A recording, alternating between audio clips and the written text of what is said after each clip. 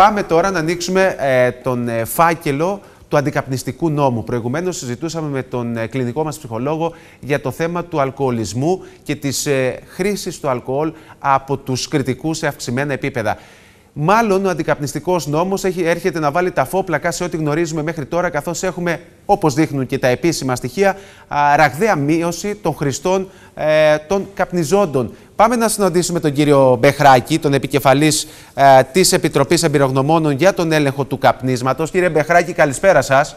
Καλησπέρα σας και ευχαριστώ για την πρόσκληση στην εκπομπή σας και την ευκαιρία που μου δίνετε να μιλήσω με τους ε, αγαπητούς ε, κριτικούς. Ξέρετε, υπάρχει ιδιαίτερη αγάπη στο πρόσωπό σας. Δεν ξέρω αν έχετε και κάποιο είδους καταγωγή από την Κρήτη λόγω και του επιθέτου σας. Ε, η καταγωγή μου είναι από τη Μάνη, αλλά ίσως η ακόμη βαθύτερη να είναι από την Κρήτη. Μάλιστα. Ε, βασικά θα ήθελα να πω ότι πιο πολύ επισκέπτομαι την Κρήτη από την Μάνη. Μάλιστα, ωραία, ωραία κύριε Μπεχράκη. Πείτε μου κάτι, γιατί είστε ένας άνθρωπος, η αλήθεια είναι ότι διαβάζοντας είδα ότι από το 1990, διαψεύστε με αν κάνω λάθος, ε, έχετε δώσει έναν τεράστιο, έναν μεγάλο αγώνα μέχρι και σήμερα για τον αντικαπνιστικό νόμο. Πολλοί σας χαρακτηρίζουν ως και σύμβολο των Ελλήνων αντικαπνιστών. Ε, και προσφάτως ήρθε και η τοποθέτησή σας στο Υπουργείο Υγείας, μια πρόταση και του ίδιου του Πρωθυπουργού αλλά και του Υπουργού Υγείας του κυρίου Κικίλια. Πείτε μου κάτι, πρόσφατα είχαμε και στοιχεία α, όσον αφορά την επιδημιολογία του καπνίσματος ε, στην Ελλάδα. Πώς βλέπετε τα πράγματα πλέον; Ε, ε είμαι αισιόδοξος αυτή τη φορά, ε, διότι όλες οι μετρήσεις που έχουμε κάνει στην κοινή γνώμη, οι συγκομετρήσεις, δείχνουν ότι η κοινωνία μας είναι πια όρημη για να αποδεχθεί και να εφαρμόσει θετικά αυτή την νομοθεσία η οποία θα μπορούσε να έχει εφαρμοστεί και από λίγο παλιότερα αλλά εν πάση περιπτώσει δεν παίζει ρόλο τι δεν έγινε. Ας είμαστε να κοιτάμε μπροστά να δούμε τι θα κάνουμε τώρα. Το κάπνισμα, το παθητικό ε, στους κλειστούς δημόσιους χώρους ε, θα πει σε ένα τέλος αυτή τη φορά διότι δεν είναι δυνατόν να συνεχίσουμε έτσι. Δεν μπορεί να γίνεται τόσο μεγάλη παραβίαση ανθρωπίνων δικαιωμάτων, τόση μορφή βίας. Παραβίαση α... ανθρωπίνων δικαιωμάτων, το παθητικό κάπνισμα, κύριε Μπεχράκη, ε; Ναι, δεν είναι. Για σκεφτείτε ένα παιδί, ποιος το προστατεύει από το παθητικό κάπνισμα, αν δεν το προστατεύσει ο νόμος και η πολιτεία. Για σκεφτείτε μια έγκυο γυναίκα που έχει να πιει ένα καφέ σήμερα εάν η πολιτεία δεν φροντίσει να μην καπνίζει υποχρεωτικά εκεί που θα πάει να διασκεδάσει με τον άντρα της σε ένα εστιατόριο ένα βράδυ. Ε, για σκεφτείτε μερικές χιλιάδες εργαζομένων οι οποίοι υφίστανται υποχρεωτική βία να καπνίσουν επειδή ο καταστηματάρχης θέλει να αφήνει τους πελάτες να καπνίζουν ή επειδή ο προϊστάμενός τους θέλει να καπνίζει αγνοώντας το δικό τους το δικαίωμα ε, ε, στο να αναπνίουν καθαρό αέρα στη διασκέδασή τους και στην εργασία τους. Αυτά δεν συμβαίνουν πλέον στην Ευρώπη του 21ου αιώνα, ε, στην οποία η Ελλάδα ανήκει. Κύριε Μπεχράκη, έχει μπει από ό,τι φαίνεται και τους τελευταίους μήνες. Ε, πάει να εδραιωθεί το συγκεκριμένο μοντέλο του αντικαπνιστικού νόμου το τελευταίο διάστημα και σε κλειστούς χώρους αλλά και σε δημόσιους χώρους. Ωστόσο, επιτρέψτε μου, επειδή βλέποντας και δράτοντας ευκαιρίας με τα ιστορικά στοιχεία και με τα στοιχεία που βλέπουμε καμιά φορά στο φως, βλέπουμε νόμους να ψηφίζονται, ε, νόμους να μην διεκπεραιώνονται τελικά και ποτέ ο αντικαπνιστικός νόμος δεν είχε εφαρμοστεί. Αν εξαιρέσει κανείς τις, τους τελευταίους μήνες, όπου έχουμε δει και δραστική παρέμβαση των αρμόδιων ελεκτικών μηχανισμών, θα πει κανείς χρειαζόταν τελικά τόσο ισχυρή πολιτική βούληση, ας πούμε, τι χρειαζόταν, γιατί η πολιτική βούλευση, ε, βούληση θα μπορούσαμε να μεταφράσουμε και τις κινήσεις και προηγούμενων κυβερνήσεων. Έτσι δεν είναι; Όχι. Δεν μπορούμε να τις μεταφράσουμε ως πολιτική βούληση. Τις, ε, ε, τις πρακτικές των τελευταίων κυβερνήσεων γύρω από την εφαρμογή του νόμου για την προστασία από το παθητικό κάπνισμα της χαρακτηρίζει μια έντονη απουσία πολιτικής βούλησης την οποία εγώ επισημαίνω χωρίς να θέλω να κακίσω τους ανθρώπους που δεν είχαν την πολιτική βούληση αυτή. Διότι πράγματι υπήρξαν πολύ σοβαρότερα προβλήματα τα οποία κατανάλωσαν όλη την πολιτική ενέργεια ε, των ε, κυβερνώντων μας και ε, έτσι δεν τους έμεινε περίσσευμα ενέργειας πολιτικής για να εφαρμόσουν και τον αντικαπνιστικό νόμο. Σας θυμίζω ότι περάσαμε μια πολύ βαθιά οικονομική κρίση. Σας θυμίζω ότι είχαμε να αντιμετωπίσουμε προβλήματα εθνικά όπως το μακεδονικό ή και προβλήματα ε, μεγάλα κοινωνικά όπως το ε, μεταναστευτικό που υπάρχει ακόμη.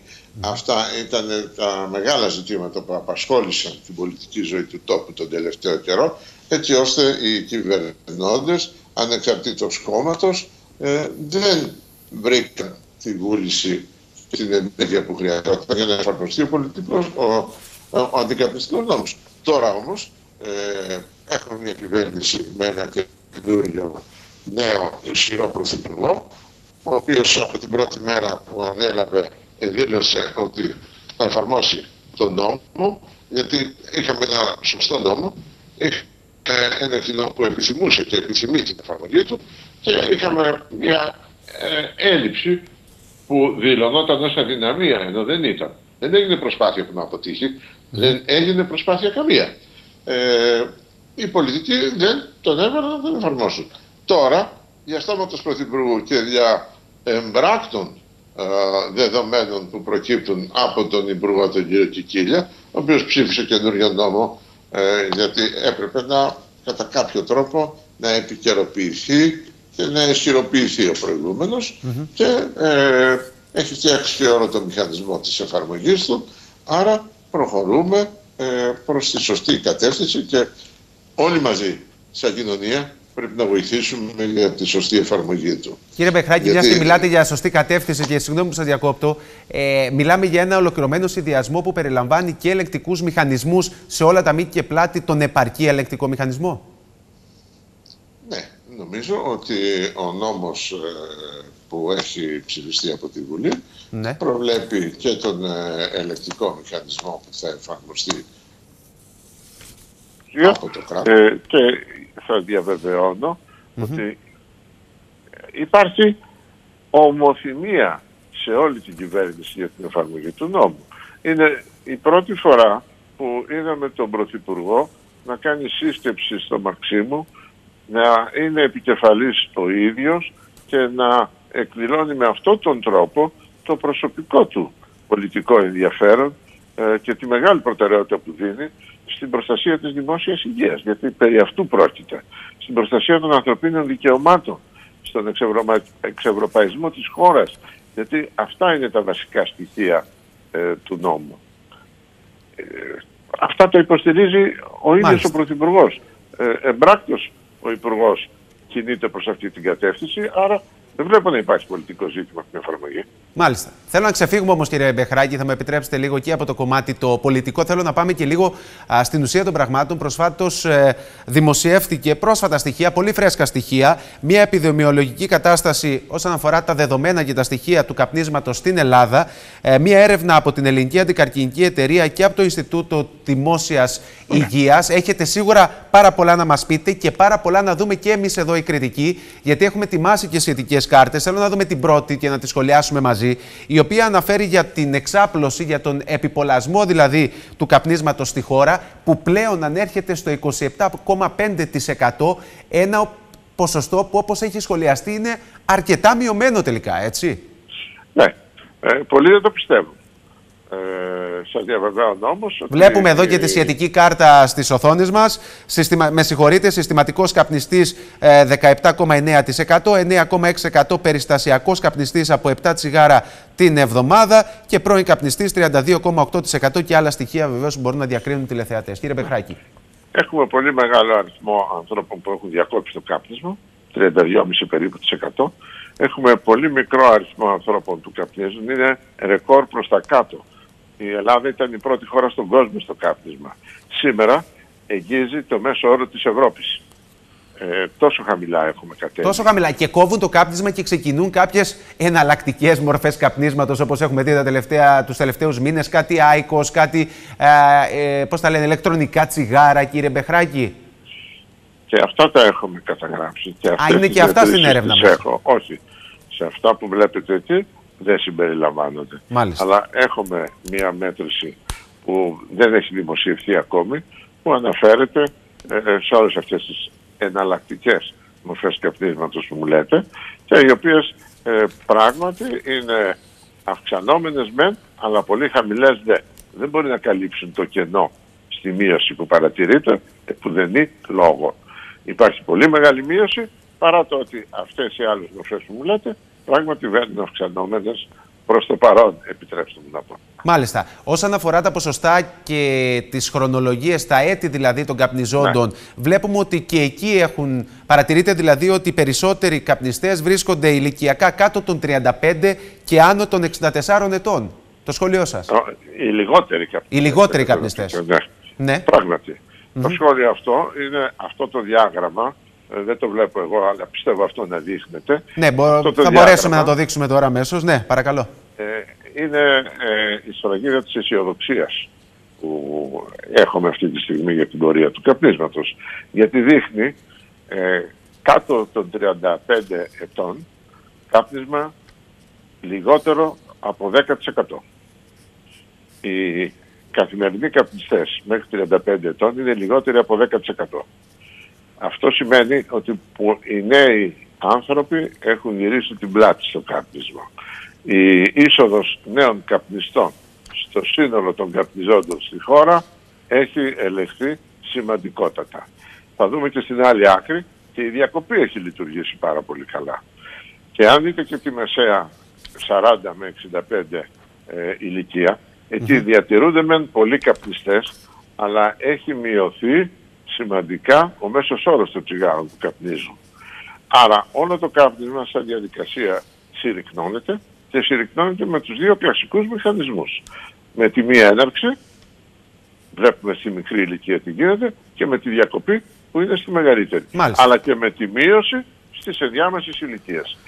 Άρα το, η κοινωνία έχει συλλάβει το νόημα και ε, αντιμετωπίζει σωστά αυτό το, το φαινόμενο. Δράτω με τις ε, έκφρασεις που είπατε, έχει αντιληφθεί το νόημα, γιατί βλέπω στοιχεία μέσα στη συγκεκριμένη έρευνα που αναφέρουν ότι το 88% είναι αρκετά αυξημένο ποσοστό των Ελλήνων θεωρούν σημαντικό τον εθνικό στόχο για τη μείωση του καπνίσματος. Και νομίζω εδώ έρχεται και η δικαίωση η δική σας, κύριε Μπεχράκη.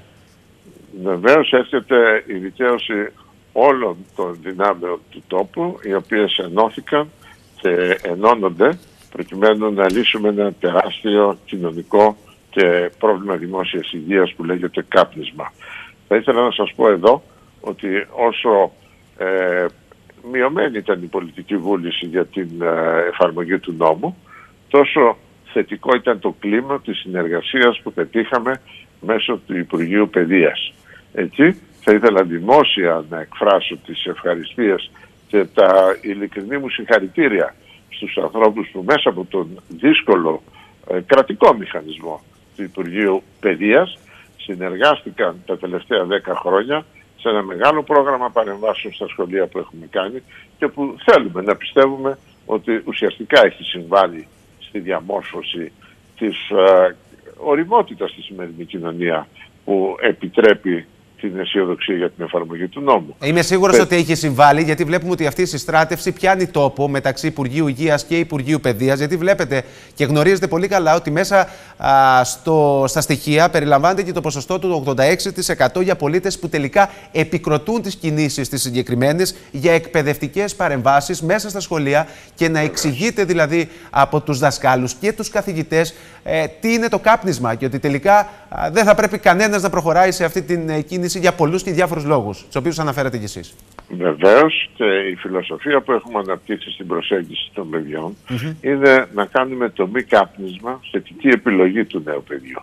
Όχι να το φοβήσουμε ε, για καρκίνο, για αρρώστιες, για θάνατο, για τέτοια πράγματα που δεν έχουν και καμία επίδραση και που μόνο δυστυχία και φόβο προκαλούν.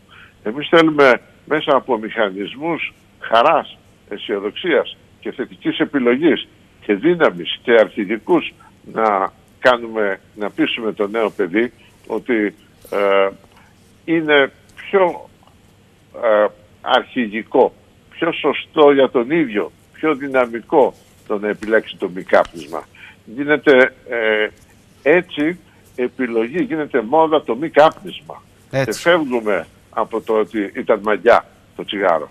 Αυτό ο σημερινός νέος το έχει σβήσει και όχι μόνο το έχει σβήσει, αλλά έχουμε φτάσει στο απρόσμενο σημείο να πηγαίνουν τα παιδιά στο σπίτι τους και να συμβουλεύουν τον μπαμπά και τη μαμά και τους συγγενείς να μην καπνίζουν. Αυτή την ανατροπή την έχουμε πετύχει, την έχουμε κερδίσει και νομίζω ότι βγαίνει η φωνή της νεολαίας, της νέας γενιάς στην κοινωνία σήμερα που μετατρέπει ακόμη και την εφαρμογή του νόμου όχι σαν δύσκολο αλλά σαν ε, κοινωνική επιταγή θα πω. Μάλιστα. Κύριε Μπεχράκη, πείτε μου κάτι τελευταίο και πολύ σύντομα. είναι, και, είναι και πολιτική βούληση το γεγονός ακόμα και σε χώρους όπως καφετέριες, μπαρ, τέτοιους χώρους να μην υπάρξουν τελικά ειδικά διαμορφωμένοι χώροι για τους καπνίζοντες; Βεβαίως, γιατί αυτά όλα έχουν ε, αντιμετωπιστεί στην Ευρώπη εδώ και μία δεκαετία και η καθυστέρηση που έχουμε εδώ στην Ελλάδα μας επιτρέπει να χρησιμοποιήσουμε την εμπειρία των άλλων χωρίς να ψάχνουμε να κάνουμε πειράματα.